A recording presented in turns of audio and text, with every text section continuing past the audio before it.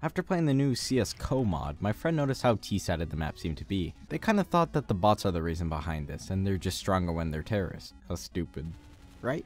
To answer this, I went into Classic Dust 2 and Mirage and simulated 25 halves each, on expert difficulty. To ensure one team didn't have all the good bots, after each half I would reload the map in order to randomize the lineups. After that, it was just a matter of recording the halves. The results were actually pretty surprising. In total, this was 750 rounds, which should give us a pretty good idea on how good the bots are. The T side overwhelmingly won out, winning 39 out of 50 halves played. But that's not all. They absolutely destroyed the CT side whenever they won. I could just tell you the numbers, but I think this graph could show their dominance more. If the terrorist team won more rounds, that means their little color will extend farther down. A team won if they got to 8 points or crossed this line at 7.5 rounds. You can kinda see that whenever the CTs rarely won, they won by a tiny margin. Going into the actual numbers, the max CTs ever won by was 10 to 5, whereas the terrorists consistently scored 11 and 12 halves. In game, it was a pretty interesting scene. Every time the CTs had a large lead, around 7 to 10, they would suddenly throw the game and lose all the rest of the rounds. I wouldn't worry about it too much. It's probably just due to the law of averages and not because Valve or Zool hate CTs. After seeing this, I wanted to see if the same thing applied in CSGO, since it's really the whole base of CSGO. Sure enough, the same results applied, except this time it's even more extreme. The CTs only won 3 out of 50 halves, with each being 8 to 7. I'm not sure why it was significantly less this time. Maybe I just wanted to make more shocking results. In the rounds the terrorists won, they continued to destroy. They even managed to get two 50 O's, something that the CSGO terrorists got close to but never could accomplish. In total, out of 1,500 rounds, the terrorists won over 1,000 of them. Of course, this was only on Dust 2 and Mirage, and it would be interesting to test on different maps considering the structures of these two are pretty similar. But for right now, I'm satisfied with this. It took quite a while to get these. So this raises a question. Why? First, I need to get out of the way that it isn't just terrorists being coded stronger. Despite these averages being far from 50-50, the halves themselves were very balanced, even on both games. Next, I wanted to see, since the M4 is weaker than the AK damage-wise, that this could be the reason why terrorists are better, since it seems that 2 to 3 of the team's guns in normal play were AKs. Testing this, again, came up short with any team being dominant. The one that I thought was most plausible is that the overall guns on T-side are better than the CTs. To do this, I constantly gave both teams enough to buy their preferred weapons and whatever they needed. Let the brawl begin.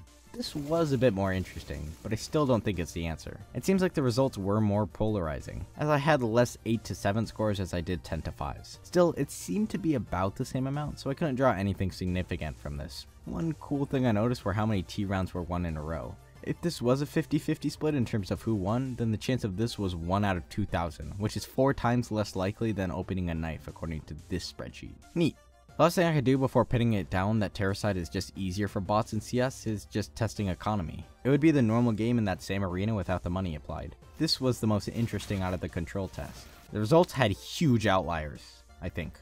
It seemed obvious that the CT side was a lot stronger based on the halves one, but after the start, all the data seemed to plateau at around 7 to 8 on CSGO. On CSGO though, it was back on T side. I would say based on the scores again that there is no significant leaning in this test. So then what is causing this score difference in real maps? I think it's just due to how CS works and how bots group together. If Ts get the bomb planted with 5 people, I think it's very difficult for the CTs to retake due to the choke points all 5 can watch. Since bots usually start in groups, you can see this trend where there will either be mass confrontations or the CTs will just whiff the terrorists and need to retake. Due to this, I believe the terrorists have an advantage just because they can plant the bomb usually without too much trouble.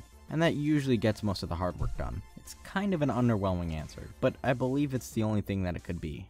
So this kind of answers the question, but not what you would think I would say. While bots together are T-sided, at least in the maps I've tested, there is no stat that makes them stronger. And rather, it's how bots play together to make this sided score. This means an individual bot won't be better on one side, since the sideness was due to how bots play, and the four humans that will tag along with this bot will play very differently. Number-wise in the maps I've tested, terrorists win usually double the rounds versus counter-terrorists, with an average of a 10 to 5 half. Control wise, it's pretty clear that the engagements are 50-50 when the guns are on the same tier, along with the bots. Even in larger controlled groups, it seems to be about 50-50, but more testing would be needed to say this with confidence. For right now, I'm fine with this. I measured 4,500 rounds in total to get this answer, and I'm going to sleep on my keyboard now.